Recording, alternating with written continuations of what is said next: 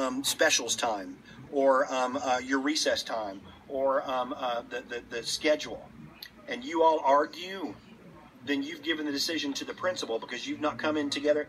You know what? I'm getting so hungry just with these right here. So you got to be able to stick together.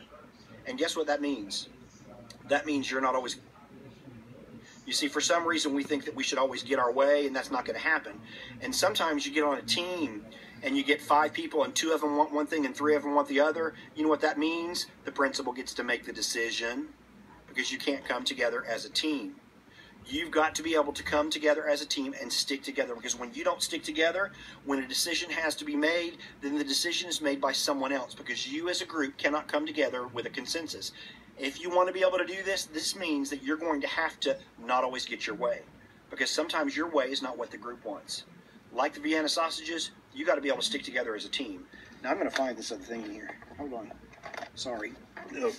Isn't this just terrible? This is one of the reasons why I shouldn't be doing these without being on to record it. Okay, I can't find it. I'm going to find it in here at some point. But here's what it. Oh, I did find it. Right here, pacifier. Um, uh, I, I, love these. These are a dollar. Um, when um, uh, our kids were growing up, um, we had a really hard time getting it away from Jared. He was our firstborn, and we got smart with our secondborn with Molly we told Molly um, once she got to be one years old, we said, when you're two years old, you got to get rid of the pacifier. Look, that's, the color's going to be bad there. You got to get rid of the pacifier. And we told her all um, from one years old to two years old, when it's your birthday, you got to get rid of it. You got to get rid of it. And on her second, um, uh, on her birthday, uh, as a two year old, she came out and we said, today's the day you got to get rid of the passy. And she pulled it out of her mouth and she said, I'm going to miss you so much, and threw it away in the trash can. I love um, pacifiers just for thinking about that. But here's the reason why I want to show you this. And I have put these in my desk. Do you know what these represent? When you buy one of these from the dollar store and you put it in your desk, guess what it represents? That you're dealing with someone's baby.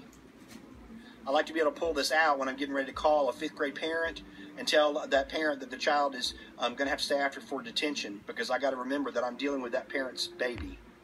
Even though it's a fifth grader and even though he's used horrible language or he's gotten in a fight, guess what? It's still somebody's baby. And we have a classroom of 25. We're running 150 kids through our, uh, our rooms in middle schools and high schools. And guess who we're dealing with? People's babies. So Molly um, uh, is now a, um, a speech pathologist. Um, uh, 24 years old. She's a speech pathologist in my district. When I text her and it's 5 o'clock at night and she says, I'm still at school, we're having a staff meeting, do you know what I want to do? I want to call that principal and say, why in the world are you having a staff meeting till 5 o'clock and my baby's in your library sitting there? You know why? Because she's 24, but you know what she is? She's my baby.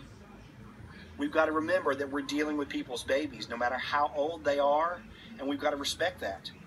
And we've got to make sure that we're coming across in a way that even though we're having a different uh, a difference of opinion here, even though you're not going to like what I say, the bottom line is I know that I'm dealing with your baby, and I want you to know that I love your baby no matter what when Jonah was in sixth grade, um, uh, he had um, PE, uh, as everybody does. Sorry, this light. This is one of the things I can't move here. Sorry.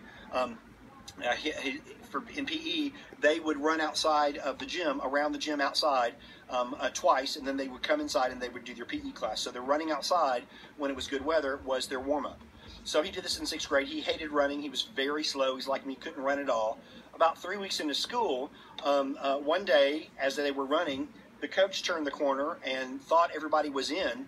And because Jonah was so slow, probably walking half the time, he was not around the corner. The coach didn't see him, and the coach closed the door and went in and, and locked Jonah outside. Well, Jonah beat on the door, but the way the, the door is, you know, he's not leading right to the gym. There was a hallway. Nobody could hear him, and he was locked out of the school.